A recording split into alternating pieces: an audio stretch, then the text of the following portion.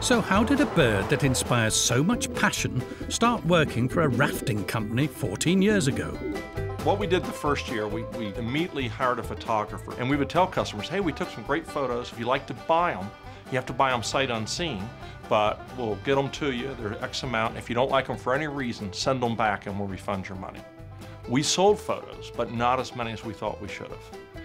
So out of that whole conversation fell this idea of we need something like an eagle or some bird that could just bring them back, thus the pigeons. The initial reaction to this suggestion, however, was hardly one of confidence. I was like, shut up, stop lying, you know, like, no way, no way, you're pulling my chain.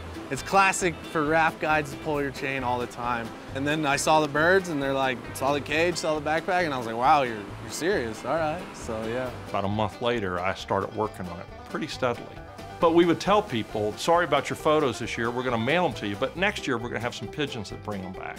And people thought that was a bird-brained idea. But we continued to work on it and uh, Pigeon Express happened. But like all labours of love, getting the Pigeon Express operational took a very, very long time. Sketch to 19 took almost a year and a half. What delayed us was I didn't have a pigeon.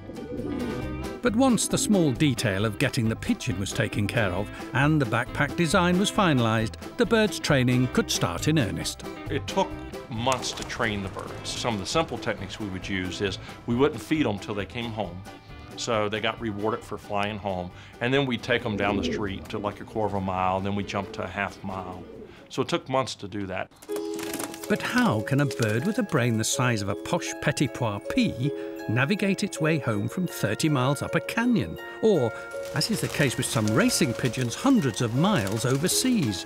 What routes are they taking? What senses are they using? It's kind of a mystery to everyone how they home I, I have no idea to tell you the honest truth. Nobody really knows. There are a lot of theories.